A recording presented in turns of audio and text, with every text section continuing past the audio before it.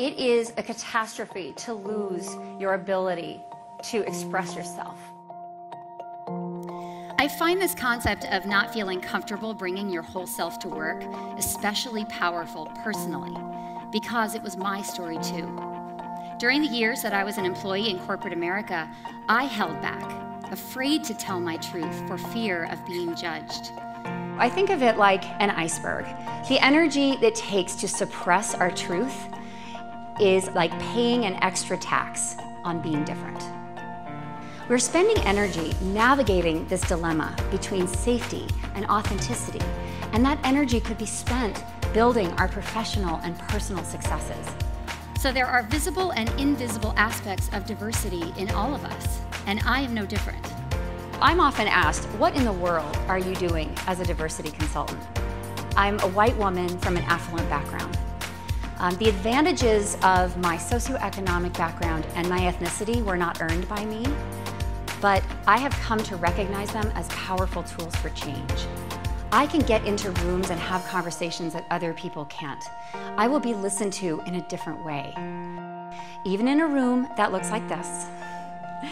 When I wrap up my session, somebody will sneak by me and say, thank you, quietly to me. That's how I know that I have to keep going with this work. I will not be called strident or a troublemaker behind my back.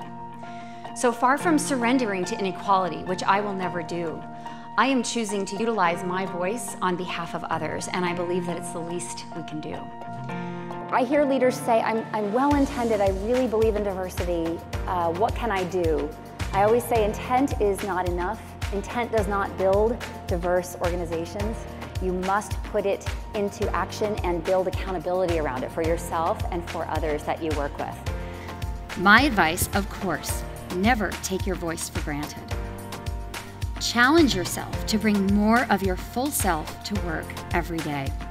If you are not uncomfortable uh, you're probably not pushing yourself hard enough in terms of being aware of your own bias.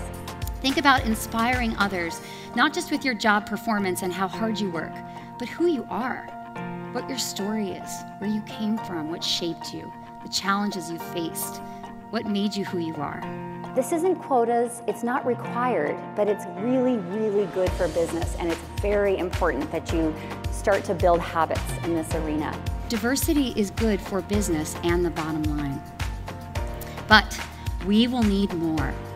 More voices, more courage, more acts of inclusion for the road ahead. So I'd like to ask all of you to think about where you are in that continuum. And if 50% of this room is covering right now, I don't want to live in that kind of world. And I hope that you'll join me in fixing it. Thank you so much.